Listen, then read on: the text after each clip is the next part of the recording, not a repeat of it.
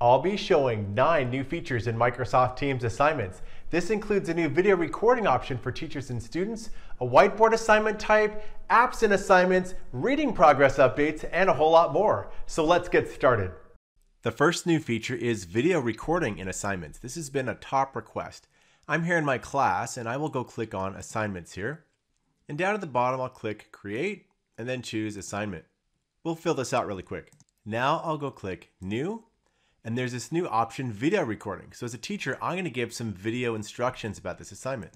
You can see I've got audio and video controls right here. So if I wanna drop this down and change cameras, change my audio, a nice little video setup, now I'm gonna record my video message. So I'll click the record button here, get a countdown.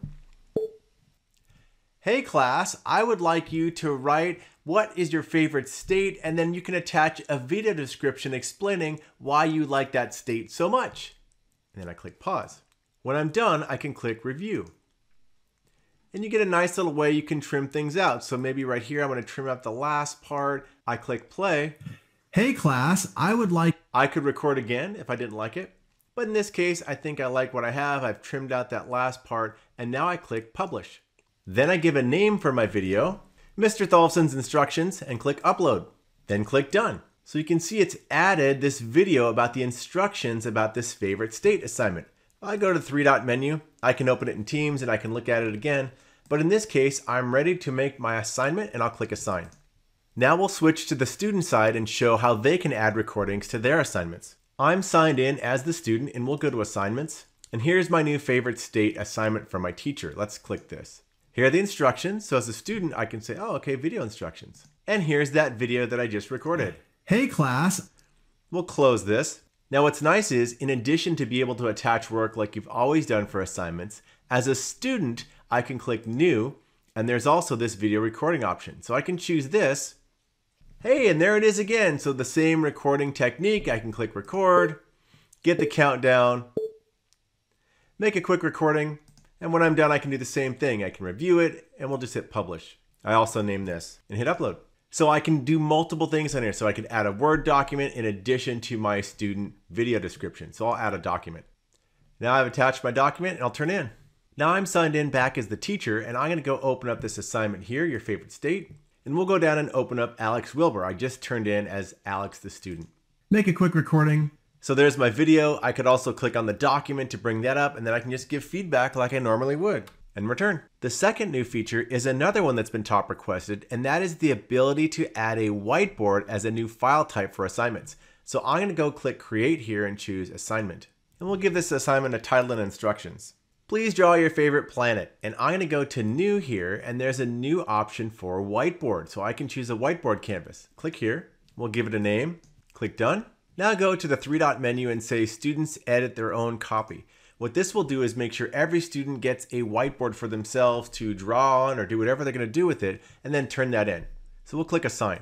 Let's switch over to the student view. I'm signed in as the student, and here's that new solar system assignment. We'll click View Assignment. And there's my whiteboard. Okay, so it says, please draw your favorite planet. I will open up my whiteboard. And here's the new whiteboard, all the new user interface. I've got a much deeper dive demo into the new whiteboard. If you go to the upper right, there's a link for it. But right here, I'm just gonna do a really quick drawing of my favorite planet and beware, I'm an amazing artist. I'm gonna choose Galaxy ink, that feels appropriate. We'll make it a little bit bigger. So I'll draw Saturn. I'm, I'm a pretty great drawer in case you didn't know. We'll make the rings of Saturn and notice how the whiteboard corrects my circle. So I'm gonna draw the rings around Saturn. Oh, that's that looks so realistic to me. I think this is pretty awesome. So there are the rings of Saturn. I think this is a great project. And so I'll just give it a little title. Saturn is the best. And I think I think that's pretty good. Let's just turn this in. So I'll hit close and now we'll do turn in. Now we'll switch back to the teacher and review that student work. So we'll go to solar system now as the teacher. And Alex, he's always on top of things. He's already turned his in. Let's go in and look. Check it out. There's my assignment. Saturn is the best. There's my feedback for Alex. You're an amazing artist. And we'll turn that in. The third new feature are apps available in assignments. And we have all sorts of top ed tech apps that you can now add as an assignment. Let's click create at the bottom and choose assignment. We'll give it a title. So this is going to use Buncee, one of our top ed tech partners, and this is going to be a sustainability essay. And instead of normally adding something like a Word document, a PowerPoint, there's a new apps choice here. I'll click apps. Here is the new apps dialog, and you can see we're just getting started with some apps, and you're going to see a bunch more rolling out into this dialog in the coming weeks and months. But you can already see big apps like Flipgrid, Buncee, Wakelet, Nearpod, and a whole bunch of others will be coming in addition to what you see here. I'll be choosing Buncee for my class, so I'll click Buncee. Now I already have a Buncee that I've created, so I'll switch and get that URL. Here's Buncee in my sustainability project. I'm gonna copy this URL and I'll go back into Teams. Now I'll just paste that URL. It found my Buncee all right there, click save. Now it's attached this Buncee right into Teams and the icon's there, it's all ready to go and we'll click assign. Now we'll switch over to the student. Here's that new Buncee assignment I got as a student. So I click here and it opens up the Buncee so I can go through, I can read everything on my Buncee. Hey, it even has immersive reader integration, which is pretty great. So I've read the Buncee. Now I close it, return to the assignment, and then I have to write a short essay. So then I could just click new and click Word document, write my essay, and then when I'm done, I just turn that in. So a ton of opportunities to have more engaging apps right in your classroom from Teams assignments. The fourth new feature are big improvements to how the Office web apps works for Teams assignments, both for students and teachers. I'm signed in as the student and I've got a solar system PowerPoint deck and I'm going to show some of the improvements on the student side for how the web apps work and I'll show it on the teacher side. So I'll open my solar system deck. The first thing is performance has been sped up quite a bit and we're using this new office frame here so it replicates all the same features as outside of Teams. You also now get an indicator if it is saved or not. It used to not tell you if it was saved, so if I was a student and I was actually making an edit here, now it says saving versus saved. I wouldn't be able to tell. So this works in Word, Excel, PowerPoint. It'll tell you if it's saved or not. Also, if you go to slideshow, for example, you now have all the same features in PowerPoint in the web inside Teams as out. It used to be we didn't have all the same features in here, which is kind of confusing. So if I want to rehearse with coach, for example, now I can click this and I get the full rehearse with coach. I'll exit out. Things like presenting live are there as well, and all the same features are across the board in the same place. This also applies on the educator side. Let's just show this in Teams briefly. I'll go down here and click on Alex, and I get the same view, all the same features as the teacher side. So Word, Excel, PowerPoint, all the indicators, all the indicators if it's saved or not, and things like presenting live and rehearse with coach. The fifth new feature is in Reading Progress, our free reading fluency tool built into Teams assignments. And it is the number one most requested feature from teachers, and that is returning the reading fluency data marked up back to the student. I'm not going to do a deep dive into Reading Progress. You can go into the upper right and click the link to get the full demo. But the summary is Reading Progress is a new reading fluency tool to help students with reading and to save teachers time. Now I'm a teacher here and I've already made a reading progress assignment and I'm going to go into one of my assignments and return the data back to the student. So we'll click geography. Now here's the student who's turned in her work, Ashley Kozak. As the educator, I've already marked this passage up. Now I'm ready to return it back to the student. I've marked up the mispronunciations, the repetitions, omissions, etc. And you can see the correct words per minute and the accuracy rate. The new feature shows up right here and you can see this return full report to student and you can edit this. So the default is, and I like to call this the full enchilada, which gives them everything you see here on the screen back. It gives them the words per minute, the percentages, the colors, everything. But we know some teachers say, I just want to give them a simplified view. So if I go into edit right here, I can set what the student will see. So the full enchilada is right here, but I could also choose the simplified report. And you can see the correct words per minute and the accuracy percentage don't show in this simplified report. You can also set it for just this one student. So maybe there's a student who they're not going to really appreciate to see all the numbers and the details. You just want them to see the colors. You can say, just set it for this student. Or you can say, you know what, for my entire class, I want them all to get the simplified report. For example, maybe you're teaching younger students and all the details around the words per minute and the percentages might be too overwhelming. You can just have it be simplified. Also, what I'm going to show here briefly is a couple of examples of what's going to be rolling out even a couple weeks in the future from this one, which is the customization option, and that lets the teacher tweak it just the way they want. Here's a screenshot of what that'll look like in a couple weeks. Again, it's not rolled out quite yet. You'll see this custom option. And if I choose this option, right here, the teacher can customize exactly what they want the student to see. You can uncheck boxes, leave boxes checked. It's all up to you. This is going to be rolling out soon. Now back to the team that I'm in, I'm just going to set this to full report and I'm going to set this for all assignments in the future so I don't have to change it again and I'll click save. Now this is set, I'll give feedback. Now I'll click return. Let's switch over and see what the student sees on their side. I'm signed in as a student now and I got a notification that my assignment has been returned. There's the assignment returned. I'll go down and click view assignment. Here's the assignment with great job Ashley. Now as a student I'll click this and here's the new feature. This is the new student view, and you can see this is all the information, the full enchilada as I call it. So here's my correct words per minute, the accuracy rate. Now if I click on a word like physical, it shows that, oh, it was a mispronunciation. I can listen to the word, so this will play the actual read aloud voice and how it's supposed to sound. So if I said physical, and I don't know quite how to say it, I'll choose listen to this word. Physical. If I choose jump to word, it'll jump the video and the audio so I can watch and listen to myself read that word.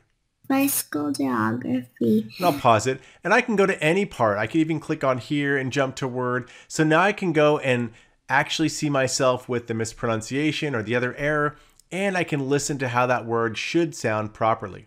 The sixth new feature is the ability to import reading passages from OneDrive or Teams. So I'm going to go down here in assignments and choose create and click Assignment. Go over here to Attach and then choose Reading Progress. You'll see an updated button that says Import Word or PDF. And when I click this, you'll see two new options from OneDrive or Teams. You can still upload from your device, but if you have passages in either of these OneDrive or Teams locations, you can now pick from there. For example, if I choose Teams, here are all the different teams I have, and maybe in my staff site, I have a bunch of shared passages. So I'll drill into Documents, and then General, and here's all my repository that can be shared across all the educators in my grade. So maybe I'll drill into fourth grade reading passages and I'll choose this one and I can attach that. I'm going to cancel and show OneDrive, but you get the sense of how you can have this shared set of passages across your teams. The other option for import is OneDrive. So if I click here, it pulls up my OneDrive. I'll choose geography in this case and choose attach. And now I've got my passage all ready to go. The seventh new feature lets educators set a timer on reading passages in reading progress. So over on the right, you're going to see a new choice, time limit, and by default it's no limit, but if I want to set it to five minutes or three minutes, I'm going to choose one minute in this case, just do a one minute read, and now I can just add that to my assignment. If you want to see what it looks like on the student side when a time limit is set, right here you can choose student view, and now you can see the student view. And right here, it says one minute to read. So that lets the student know that this is a timed passage and then they can start. I'll exit out of student view and then I can just make my assignment. The eighth new feature lets you edit a draft of an assignment you've made in reading progress. So I'll go down in the lower part here and choose create and then assignment. We'll give it a quick title, enter the instructions, and then we'll go and click attach and choose reading progress. We'll upload a Word document quickly and then we'll just set some information over here. Genre, nonfiction, number of attempts, three, and we'll leave it at default and we'll click next. Now in the past, once I added this reading passage, I couldn't edit it. So let's say I discovered, wait a sec, I want to change the number of attempts. I used to have to discard this and start over. Now, if I go to the three dot menu here, I can choose open in Teams, and it opens up my reading passage again, and I'll change my number of attempts to one, click next, and now it's changed. The ninth new feature is also in reading progress, and it is improved keyboard shortcuts for the speed grader to give teachers time back. So I'll click geography here, and I'll open up a student. Keyboard shortcuts can help speed up the entire review process. So I'm going to click on the word the, and it opens the menu. If I use the down arrow, you'll see the focus goes down, and I can go back up. I go all the way up to the, and now the square has the focus. If I hit the right arrow, it goes to the next word. So I'll hit the right arrow a couple times and you'll see it navigating like this. Hit the left arrow, I can go back the other way. I can also go to the beginning or the end. If I hit end, you'll see the focus is down at water, the last word. If I hit home, focus is back up here. Now the best one in my opinion is the ability to hit the space bar and be able to hear that word. So if I want to navigate, let's say I use a couple arrows and I just want to hear her say landforms can be mountains and valleys, I'll hit the space bar right on this word. Landforms can be mountains and valleys. And I hit the space bar again and it'll pause it. So I can go to any part right like this and hit the space bar. People use to decide where they and hit the space bar to stop. The last keyboard shortcut is also really useful. This allows you to jump between different errors with a single keyboard shortcut. So if I start in the beginning on the, and I want to jump to this bicycle, I just do control period School and it jumps me. I'll hit the space bar to pause it. Now if I want to jump to the next one where she does the repetition, I can do control period again. Physical features it is important. And if I want to go backwards, I just do control comma. So control comma and control period go backwards and forwards. They're just like the Outlook shortcut in next previous for messages, which is also control period and control comma. If you found this video useful, give it a like. Now, if you want to keep up with all the latest quick tip videos that I'll keep releasing, subscribe to my channel and then just ring the bell so you get notified for all the new videos that post.